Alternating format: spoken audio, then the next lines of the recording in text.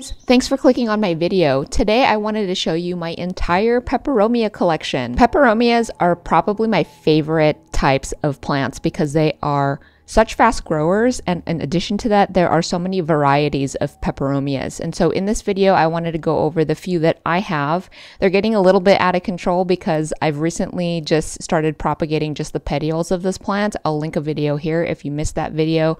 And um, yeah I just wanted to show you how far they've come since I first bought these peperomias. So before we get started if you're new to my channel thank you so much for stopping by. Please don't forget to subscribe. If you're obsessed with houseplants then I think you're gonna really enjoy my content. Okay, so let's move on. Let's start with my parallel peperomia that you see here in the little screen is what I originally bought it in. It was in a four inch pot and now it's just kind of exploded to all these little um, different plants. You can see the mama one in the very back.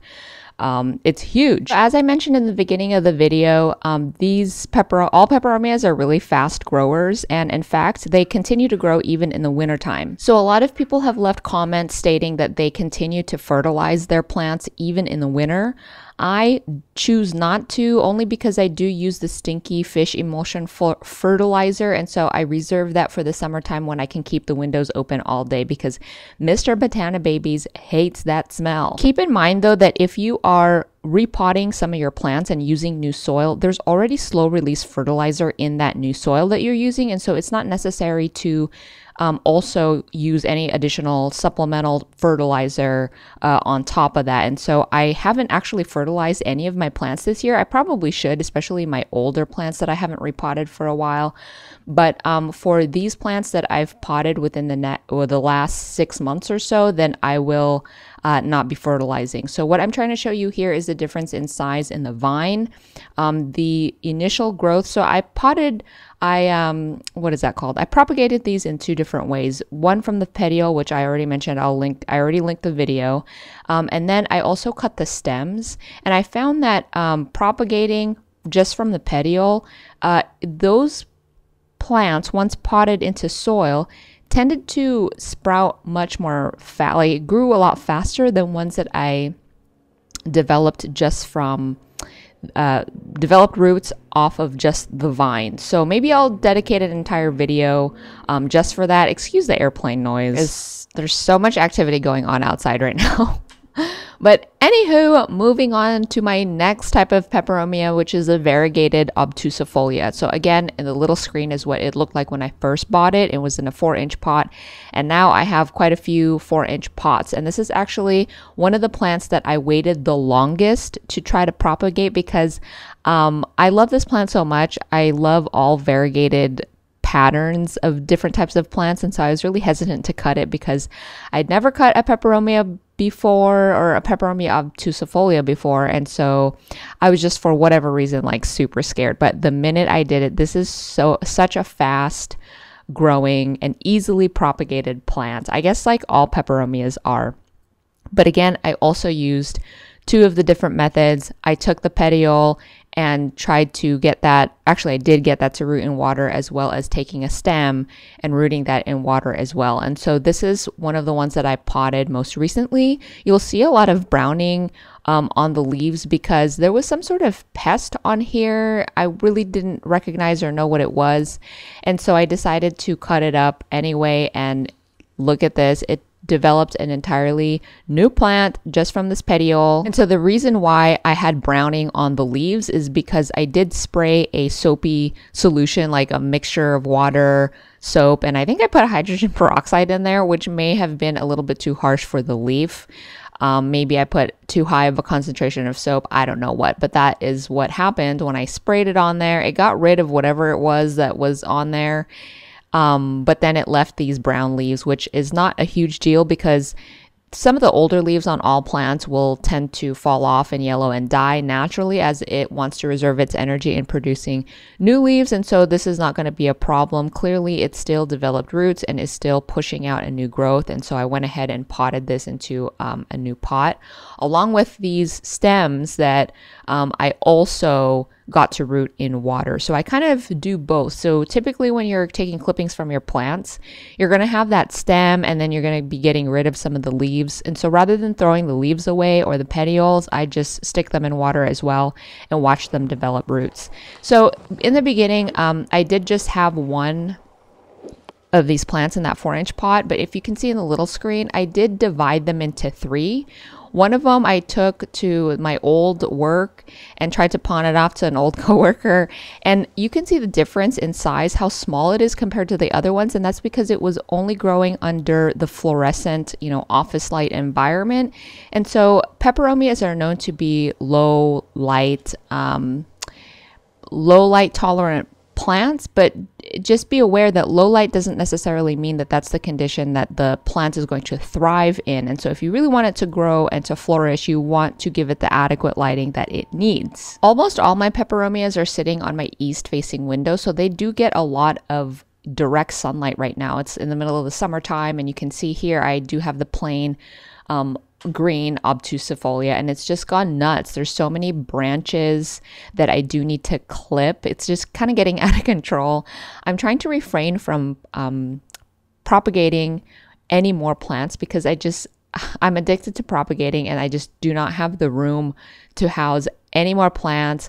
I feel like I'm the last person in this world socially distancing, and so I'm not able to, you know, socialize and give away some of my plants. I'm taking the social distancing thing very seriously, and I hope that you guys are too, because watching all of these atroc- atrocious like parties and all these gatherings, it's just totally disgusting and it really is prolonging the uh, us getting over this whole thing. But anyway, that is for an entirely whole different video. You can see here, there's there was something wrong with this plant. It's had this like scalloping effect on this leaf, but these are pretty good plants and will get over any pests that it may um, have uh, pretty fast. And so this is my favorite type of plant, you guys. I'm not even kidding. I have, there's so many more peperomias that I don't have.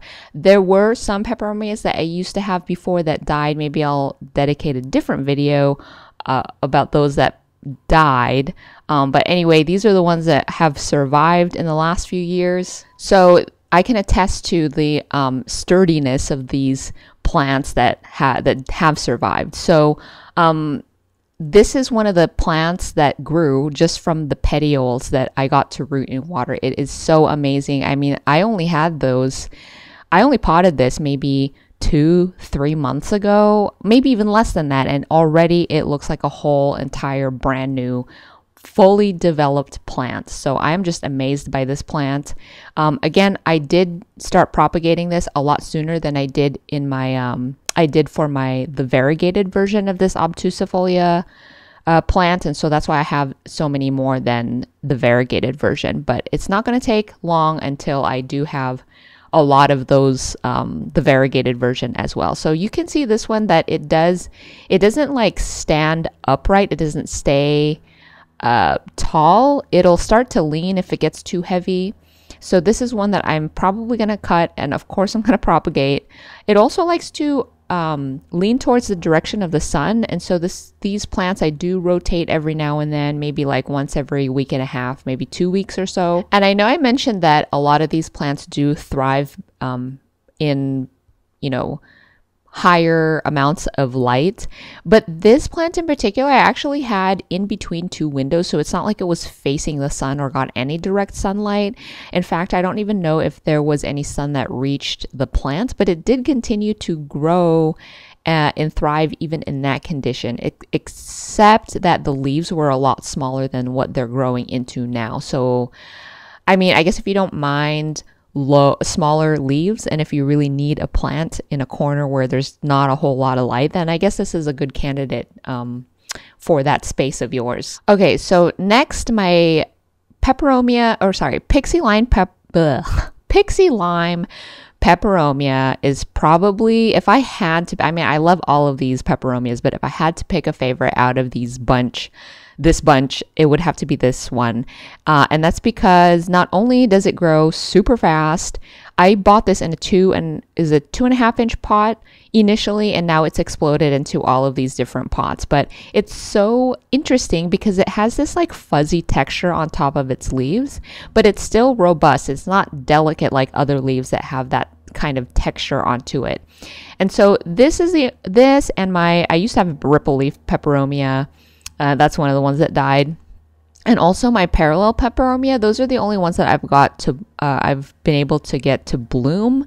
And i'll show you what the bloom looks like uh, here in a little bit but um, the obtusifolias have not yet bloomed for me but they do still have a similar flower. So all peperomias have that um, like rat tail looking bloom.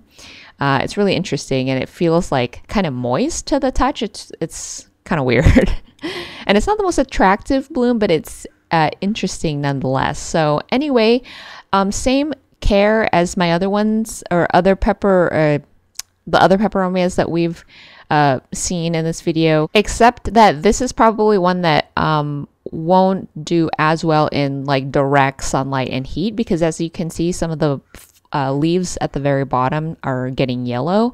And I think it's from getting bleached from too much sun. So I have pulled them away from the super sunny spots that they've been in. So I've like placed them lower on shelves. Here's the rat tail blossom that I was talking about. But anyway, I would place them in a lower, you know, bottom shelf just so they get more filtered light um, from the whatever plants that are on the top shelf. So I'll show you in an upcoming houseplant tour video where I place these just so you can get a better um, picture of where they actually sit in my house and the type of lighting that they actually get.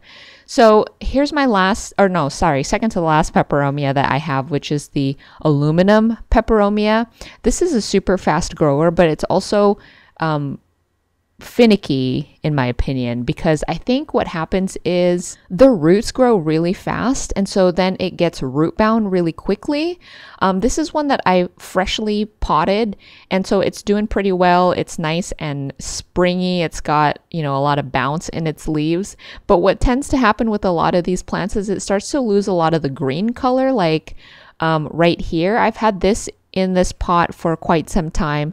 Um, I decided to, I wanted to see what the roots looked like. I knew what they look like when they develop in water. They're really fine um, and there's a lot of them, but I wanted to see and watch what it looked like as it grew in the soil. And as you can see here, there are a lot of really fine roots that I think get really crowded, which then um, makes it I don't know what happens, but like that's where I think that's what causes the leaves to lose some of its green color because it's not as green or as vibrant as it was when I initially potted it into soil. And so I did do an I'm doing an experiment. I recently repotted one into a bigger container.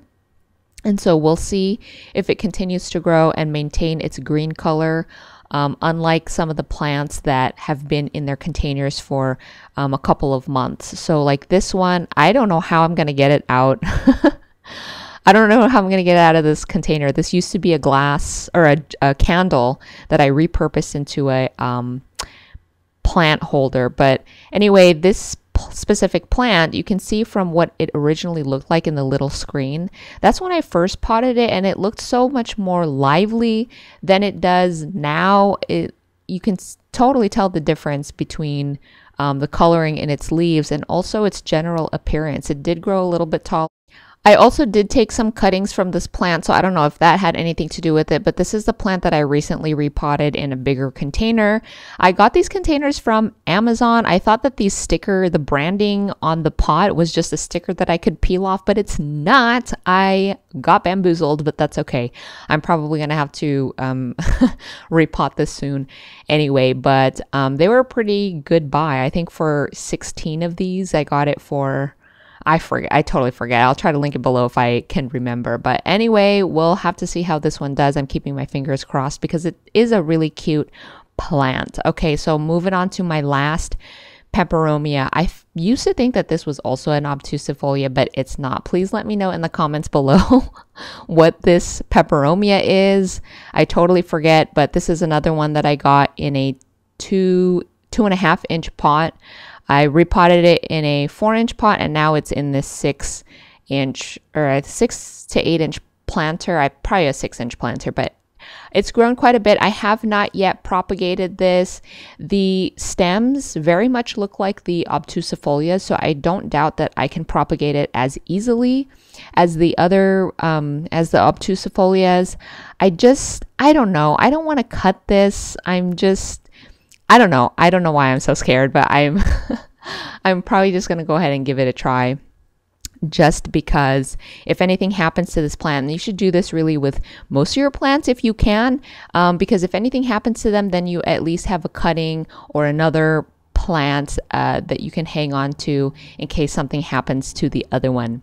Okay guys, that's it for this video. I hope you enjoyed. Let me know in the comments below what types of peperomias you guys have. Again, maybe I'll make another video to the peperomias that I used to have that didn't quite make it but I don't know. We'll see. Anyway, guys, stay safe out there. Um, and until next time, bye.